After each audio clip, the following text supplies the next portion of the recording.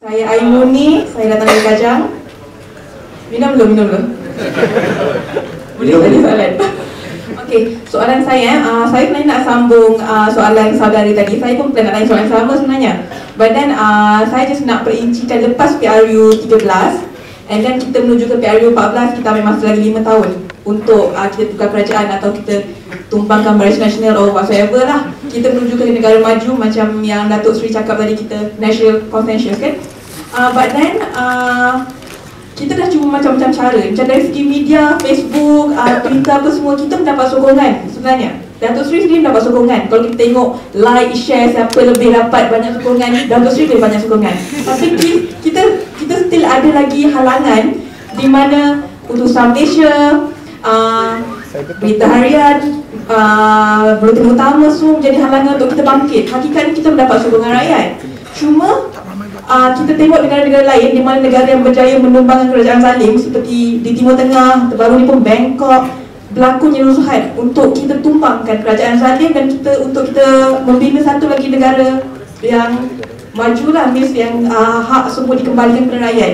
Jadi adakah negara kita sebenarnya possibility untuk menuju ke uh, situ ataupun maksudnya bukan saya nak ajak merusuh ke apa. Cuma ada kita terpaksa melalui jalan tu sebenarnya di akhirnya. Sebab kita dah hadapi kita dah cuba macam-macam cara.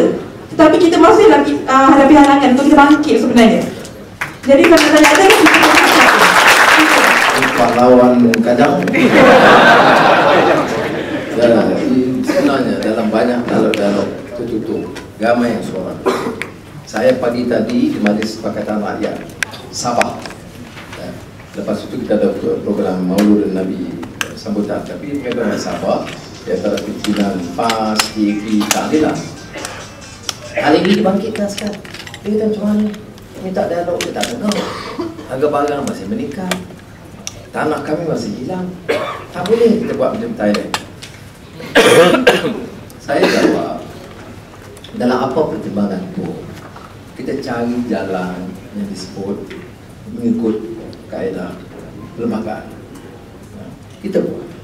Kita exhaust karena kadang-kadang walaupun kita kata kita nak buat perhimpunan secara aman dia pukul. Anak-anak muda tak tahan melawan kita pada peringkat ini saya hanya menggesa saya pulang kepada rakyat untuk bangkit menyatakan sikap. Ya, memaksa semua pihak. Bukan saja PN tapi Pakatan Rakyat bukan saja uh, rakyat yang tak pro yang tidak mati. Take a stand ke ini soal negara dan masa depan negara. Tak boleh. Kalau saudara kata saudara orang yang adil siapa saja. Anak Melayu miskin di Ulu Kelantan. Atau di India di estate hijau. Atau Cina yang dipukul does not selagi kita tak dapat tanam itu spirit kemanusiaan what is justice what is right we don't deserve to be man or woman with some dignity. Jadi itu kita kena ingat. Jadi pendapat sedari saya tahu memang mudah mula orang rasa kesah dia tengok macam takkan ada macam Thailand takkan jadi macam Cambodia takkan jadi macam Ukraine. Ya. tapi saya beritahu setakat ini Majlis Pakatan Rakyat mengatakan kita desak dua kali. Mesti undi dan selesaikan ini. Tak boleh tolerate ini orang terang-terang boleh. Pukul orang kalau depan polis tak apa. Kalau dia belah belah sana. Nah, kalau dia belah sini tak boleh. Dia tak boleh buat fitnah hari-hari. Tak ada apa-apa. Tak ada tak ada kesan. Don't if I have a problem. After are they Malaysians? Yes. Are they Muslims? Yes. Are they Malays? Yes macam mana dia boleh hidup makan niaga menulis dan duduk keputusan hari-hari maki hamun orang oh kerana dia pembangkang. Boleh. I have a problem. Saya kalau baca kadang-kadang suara keadilan tengok kritikan terlebih sikit. Kita tak slow lah sikit. Jangan. Kita lawan pak dia. Janganlah serang anak dia. Ya saya pernah tegur. Why is it the conscious? I don't approve. Mana dia kurang ini kalau dia hari-hari macam itu tak boleh. Tak boleh. Mana ini? You tak ada dictates of conscious dalam beberapa perjumpaan dulu saya selalu sebut apa yang Mahatma Gandhi tekankan. Politik ini kata dia mesti politics of conscience. Hati senubari. Kenyataan ni hati nurani Sa, uh, Raj Mohan Gandhi cucu Mahatma Gandhi kawan baik saya. Dan dia yang, yang pertahankan prinsip Gandhi. Di India pun bukan sebenarnya orang ikut dia ada juga pelampau Hindu. Ada juga problem jadi bukan mana semangat Gandhi itu tidak semestinya difahami semua. Tapi cucu dia bila dia undang saya dengan Azizah pergi ke Panchgani di India. Dia dia, dia, dia menangis dia kata sebelum saya datang tu dia tengok semula YouTube dan sebagainya. Dia kata, dia kata Indian politics is very dirty.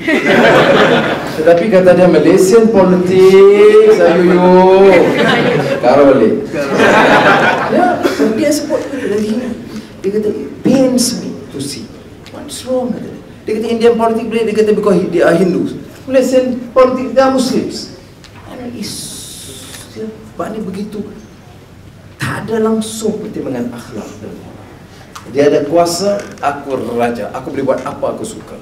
Ini masalah bila prinsip perlembagaan dan undang-undang tadi tadi orang tanya pasal apa ni di, di Pulau Pinang sesuatu eh ya, you tak setuju tak apa? Nak kritik tak tapi boleh ke umpamanya pergi serang pejabat, tendang pintu pejabat ketua menteri dan tak ada tindakan. Tak ada pendakwaan.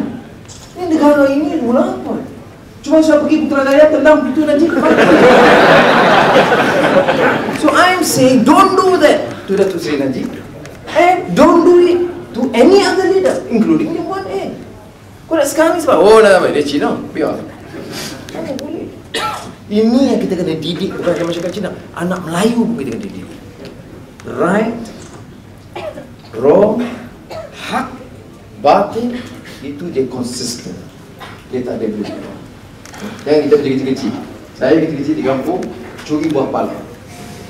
Kena ada estate Cina buah pala, buah pala nutmeg. Saya ingat okey ya, curi Cina punya kan. Kalau dia buat, dia saya balik. Saya ingat nenek saya kata ke saya, ambil di mana? Ah, ambil pokok. Pokok mana? Pokok estate. Estate mana kita Cina kat Bukit Pim Tanah. Itu minit saya kata, hantar balik. Nah, sekarang. Dia tak kata nak, dia cakap balik. Lah ni juga, hampir hantar balik. Allah macam nak hantar, Cina tu nampak pukul pun balik. The idea. And that was a lesson. Bahawa bagi dia, curi injustice itu kepada siapa saja still injustice curi itu curi. Jadi saya lari saya tak tak nak balik di pokok dah. Saya campak ke bawah. That was